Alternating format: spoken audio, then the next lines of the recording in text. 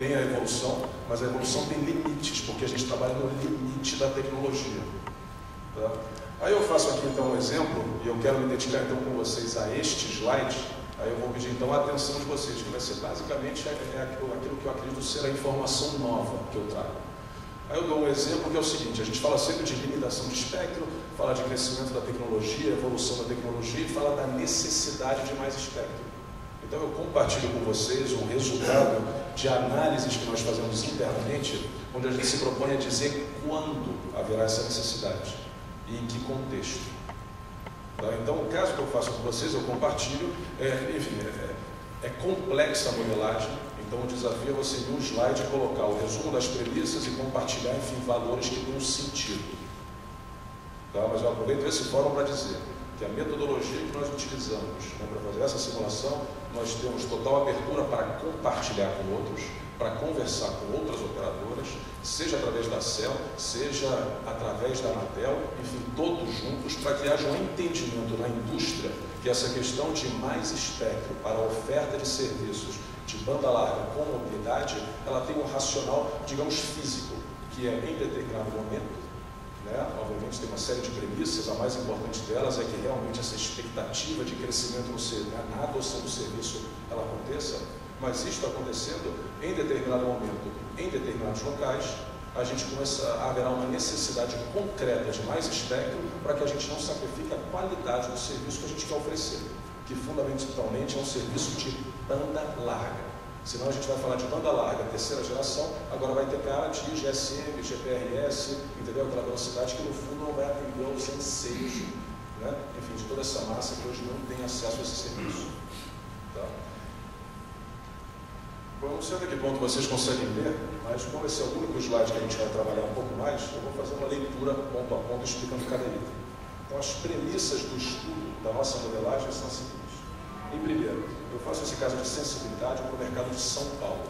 No específico, São Paulo, a NF11, ou seja, a cidade, a, a grande São Paulo, vamos dizer assim. A, a, a, demanda que eu gero, ela vem de duas fontes. Uma é a distribuição dos usuários de banda larga hoje, fornecida pelo barômetro Cisco, e a outra é a projeção de crescimento do número de usuários SLP de banda larga proposto pela, é, é, projetado pela Anatel.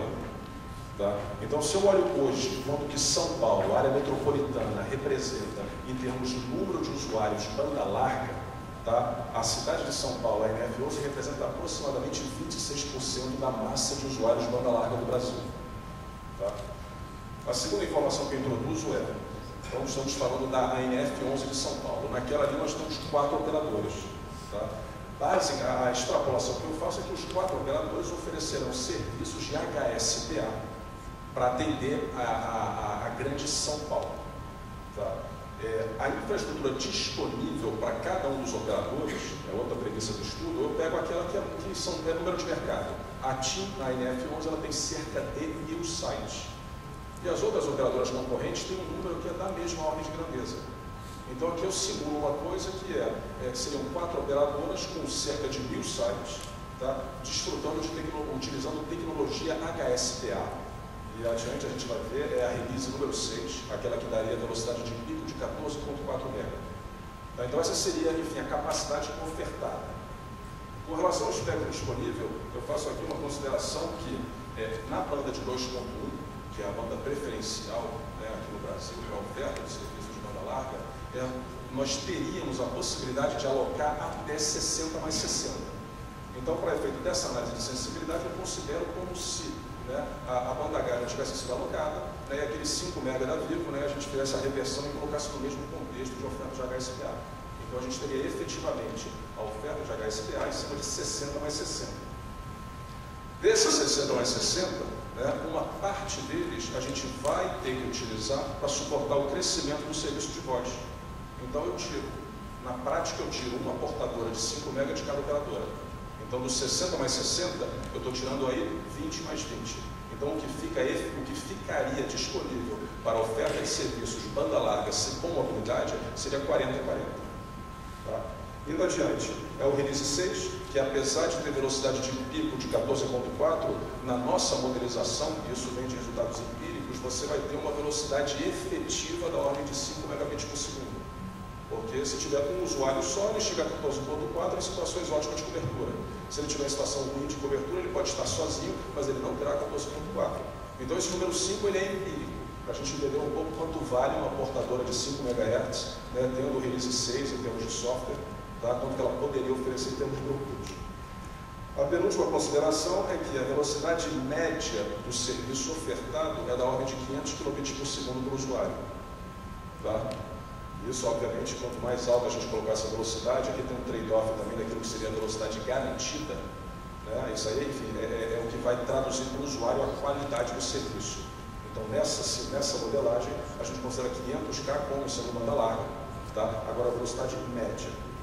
E a outra extrapolação que se ter feita né, é com relação a, é, a o comportamento do usuário banda larga 3G, eu estou aproximando ele daquilo que nós conhecemos hoje, que é o comportamento do usuário de dados do mundo 2G.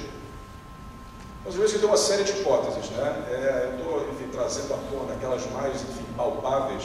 A modelização que tem por trás disso é bastante complexa. Tá? Mas, enfim, entendidas quais são as premissas, né? aí qual é o resultado que a gente chega. Né? E aí eu compartilho. O resultado diz o seguinte, então vamos ver qual seria né? olhando o barômetro Cisco, né, que diz 26% dos usuários estão em São Paulo, e eu, para esse efeito de simulação, digo, e eles continuarão em São Paulo na NF11. Tá? E aí eu vejo qual é o crescimento que a Anatel está esperando né, em termos de Brasil para usuários de banda larga sem fio. E aí a gente tem a curva vermelha, que seria né, o crescimento da demanda. Então, 2009 estaria vendido, que seria perto de um milhão de usuários né, na NF11. 2010 a gente chegaria a cerca de 3 milhões de usuários, até ali ainda haveria capacidade para absorver. A partir de 2011, vocês vejam que a barra vermelha, que seria a demanda esperada para o mercado de São Paulo, a NF11, ela superaria aquilo que seria a capacidade disponível nesse contexto que eu apresentei.